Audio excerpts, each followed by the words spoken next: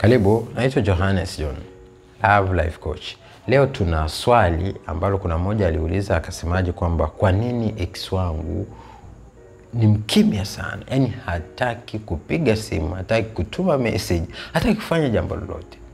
Leo nataka nikwambie kwamba unapoachana na ex wako au unapoachana na mpenzi wako, process ya kwanza kwa yule mtu ambaye amekuacha, anawaza kwamba yes, maamuzi niliyoyachukua ya kumwacha mtu fulani ni sahihi hata 100%. Kwanza anajichukulia ni sahihi akiwa na maana gani? Anaona kwamba wewe ulikuwa ni mmoja wa watu ambao walikuwa wanatesa maisha yake. Anakuchukulia ni kama gaidi, anakuchukulia ni kama mtu ambaye ni hatari, ni mtu ambaye hafai kabisa kwenye maisha yake.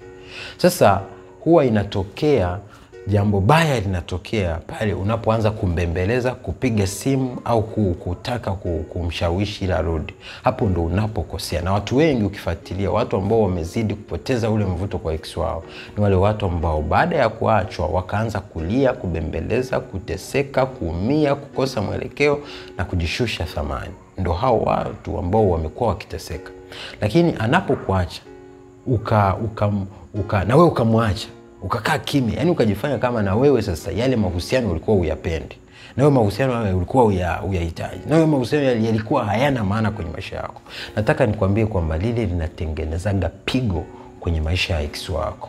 Kwa hiyo ex wako iwezekana yuko silence, ex wako iwezekana hataki kupiga simu, hataki kutafuta, hataki kwa namna yoyote kujibu meseji zako au kufanya jambo lolote, kwa sababu umekuwa ni king'ang'anizi, kwa sababu umejishusha thamani, kwa sababu hautaki kuboresha maisha yako, kwa sababu ni tegemezi kwako kwake bado, ni kwa sababu haubadiliki, hautaki kumpa nafasi, hautaki kumpa uhuru.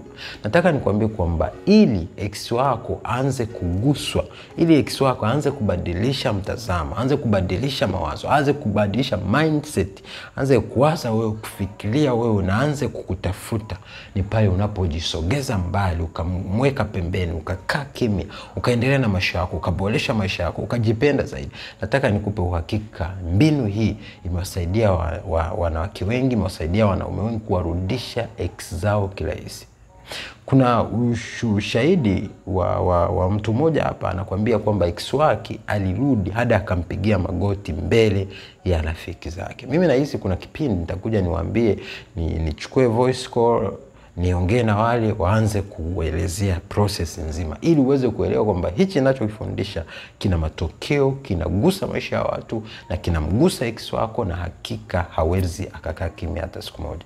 Mimi ninachokutaka tu wewe ni kuwa relaxed, ni kuwa mtu ambaye huna pressure na ukaapply ile no contact period, wala bila pressure yoyote. Nakupa uhakika, lazima ex wako anarudi, lazima ex wako aweze akakaa kimya, lazima ex wako aweze akavumilia ule moto unaokuwa unamwakia wa kupuuzwa, kuonekana hana thamani na kuonesha sasa ile process ya kushusha thamani imemgeukia yeye.